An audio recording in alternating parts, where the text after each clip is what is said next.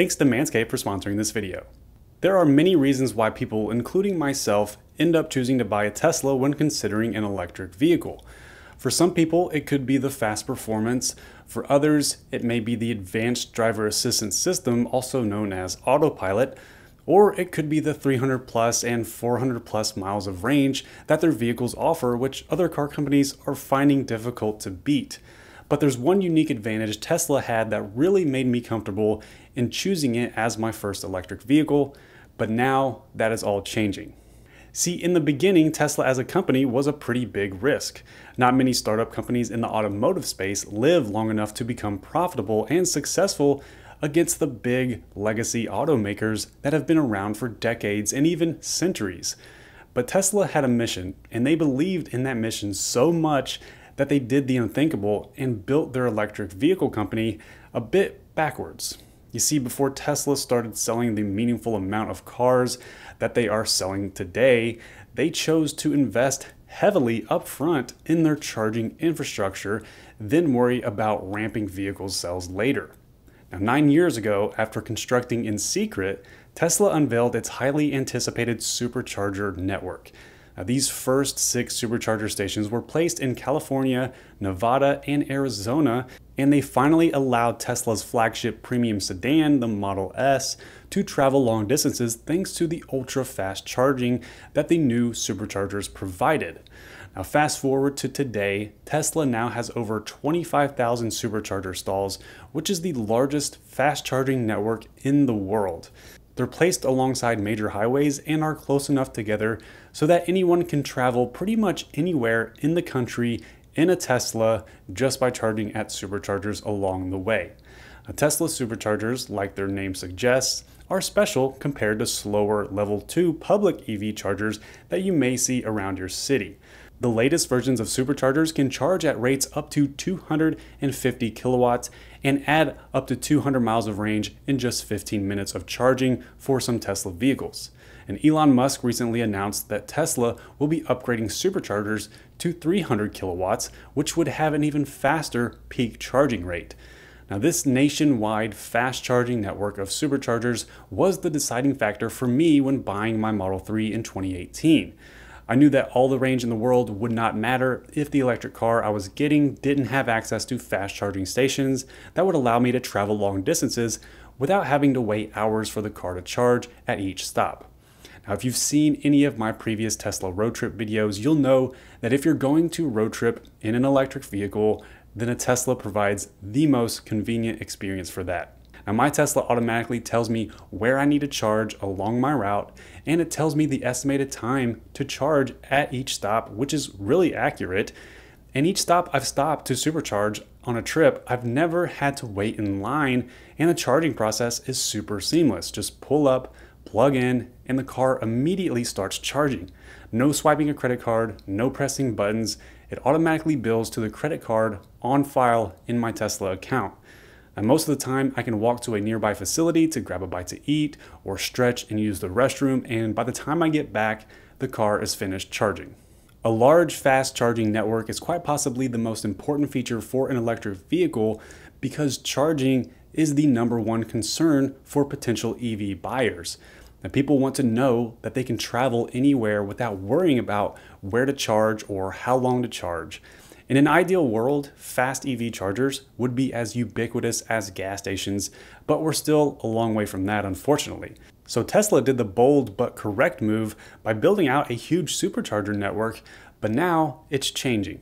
First, Tesla is selling a lot of vehicles right now, and their main goal is to keep selling as many vehicles as possible quarter after quarter so the more Tesla vehicles they sell, the more there are on the road and the busier the superchargers will be, which brings the risk of people waiting in line to charge, which is not fun. Now, this is already happening in popular areas during holidays. Luckily, I've never experienced this. In fact, during the majority of my supercharger stops, the stalls are mostly empty. And that's partly because of where I'm located and where I travel, but also because currently superchargers are only for Tesla vehicles a non Tesla cannot charge at a supercharger. Until now, that is. Before we continue, let me tell you about today's sponsor, Manscaped, the best brand for men's grooming and hygiene.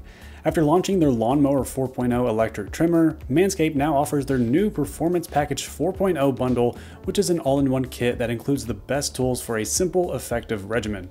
The new Lawnmower 4.0 cordless trimmer is waterproof, which makes it easy to quickly groom in the shower, and it keeps you safe with replaceable ceramic blades featuring skin-safe technology and a built-in LED light. It even has a new wireless charging system and travel lock feature.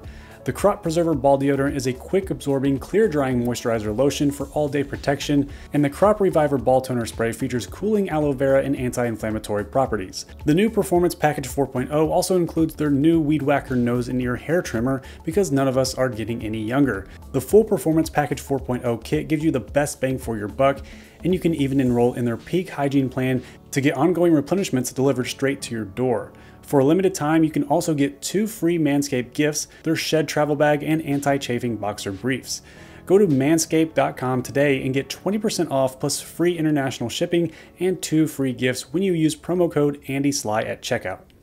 According to Elon Musk, later this year, Tesla will open up its supercharger network to other electric vehicles for the first time ever. This has been rumored for a while, but it's the first time that Elon has publicly confirmed it will happen as soon as this year. So, why would Tesla do this? Well, as much as we sometimes forget, their mission is to accelerate the world's transition to sustainable energy, and making their 25,000 plus superchargers accessible to all EVs is one way to do that. Another reason is probably money. With the new US electrification infrastructure deal, Tesla may need to open up their superchargers to all vehicles in order to be eligible for some government subsidies. Also, if Tesla decides to charge a higher rate for non Tesla EVs to charge at superchargers, it may increase revenue and speed up the installs of future supercharger stations, which would mean more EV chargers in quicker time, benefiting all drivers. However, the big dilemma is how will Tesla answer the charging adapter problem? According to Elon, when Tesla first came out with their superchargers, they introduced their own proprietary charging connector for North America because there was no other solution for fast charging other than CHAdeMO, which was bulky. In its first version, only supported 62.5 kilowatts, while Tesla quite quickly moved to 120 kilowatts and higher. Now, meanwhile, the rest of the world has pretty much decided on CCS as the standard EV charger type. So now we have this fragmented charging problem for electric vehicles, and it's sort of like Apple's Lightning connector versus USB C. Sure, Apple Lightning has its perks, but it would be most beneficial for consumers as a whole if we all use the same charging standard for our phones, and the same principle applies to vehicles. A Tesla's charger type is fantastic. It's slim, it's simple, and it works for both low and high power charging. So the same connector is used at home on a normal outlet and at superchargers that deliver 250 kilowatts of power. So all Tesla superchargers in North America use the proprietary Tesla connector, but Tesla was forced to make their superchargers compatible with CCS in Europe. So will they do the same here in the US? I doubt Tesla decides to retrofit all of the superchargers for this. I think the best way would be for Tesla to offer a CCS to Tesla adapter that non Tesla owners can purchase if they want to use Tesla superchargers, and they can just keep the adapter in their car, which seems like a good compromise in order to unlock thousands of more chargers than before. But if Tesla does that, then that means non Tesla vehicles can charge at superchargers while Tesla vehicles cannot charge at CCS chargers, which is a bit unfair. Now, the solution would be for Tesla to also offer a Tesla to CCS adapter for Tesla owners so they can utilize all CCS DC fast chargers, such as Electrify America. And how will Tesla decide to charge non Teslas for the electricity used at superchargers? Will it be the same rate or will it cost more? How will they pay for the charging? Will they be required to use the Tesla app? Another thing to keep in mind is that not all EVs are created equal in terms of charging rates. For example, the Chevy Bolt can only charge up to 55 kilowatts, so it would take it much longer to charge compared to a Tesla Model 3 that can charge up to 250 kilowatts. Now, I'm all for widespread EV adoption, but if I pull up to a full supercharger station and I see a bunch of slower charging EVs taking up all the spots, I won't be too thrilled. And there lies the problem. Many Tesla owners, including myself, chose Tesla for their superior dedicated fast charging network. And now they're giving it to people who did not buy a Tesla. On the other hand, if you take a more positive look, the non Tesla owners who charge at superchargers may realize how much more convenient it would be to have a Tesla, which may lead to more interested Tesla buyers in the long run. Now, I wish there wasn't such a disconnect in the EV charging standards because in a perfect world, there would be one fast charging standard connector that all manufacturers were willing to use so all electric vehicles could benefit from all public charging stations. But unfortunately, that's not the case in the US right now. And as much as I prefer and like the Tesla connector for how well designed it is, it probably won't overtake CCS anytime soon. So either we'll have to accept a life of carrying adapters in our cars or Tesla will have to give in and start implementing CCS charging in the US.